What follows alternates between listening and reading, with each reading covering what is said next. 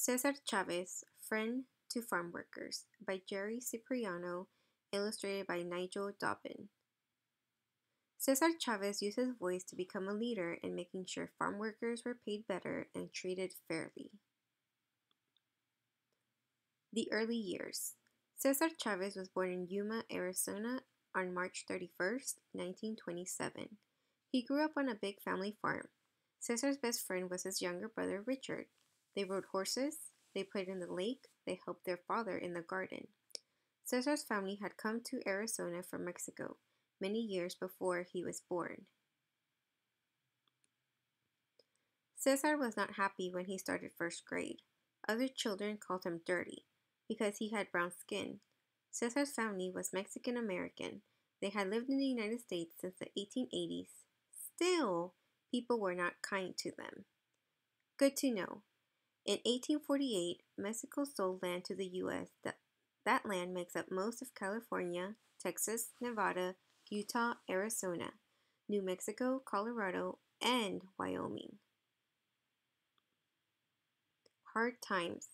When Cesar was 10, the land got very dry. It did not rain. Crops died. At first, the Chavez family was okay. They ate what they grew, but soon they could not keep their farm.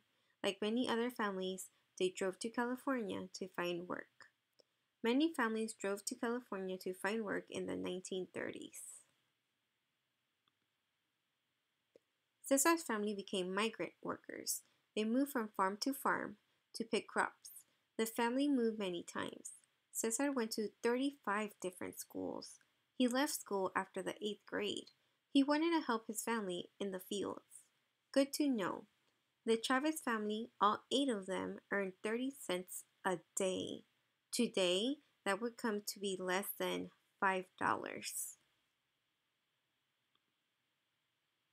The Chavez family worked long hours. They lived in shacks with dirt floors.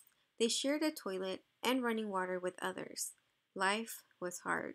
They worked in the hot sun. They had no water to drink.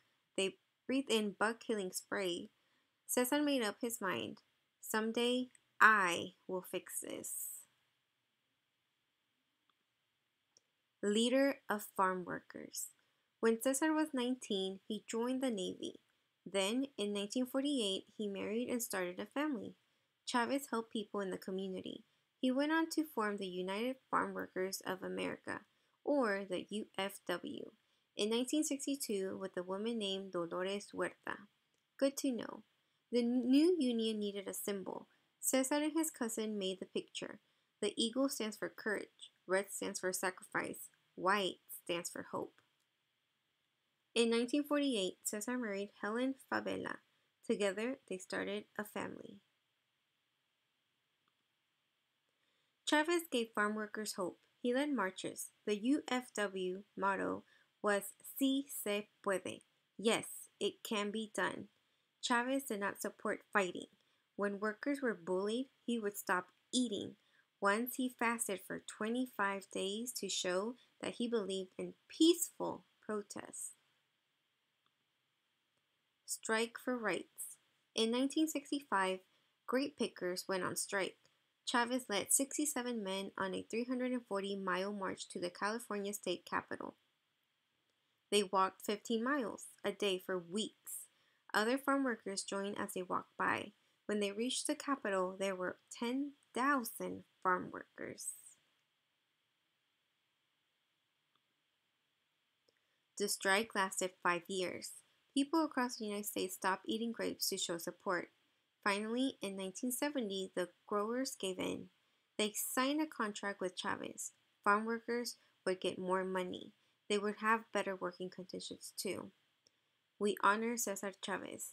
Cesar Chavez died on April 23, 1993. More than 30,000 people came to his funeral. In 1994, President Clinton honored Chavez with the Presidential Medal of Freedom. It is the highest honor a citizen can get. In 2003, a postal stamp was made to honor Cesar Chavez.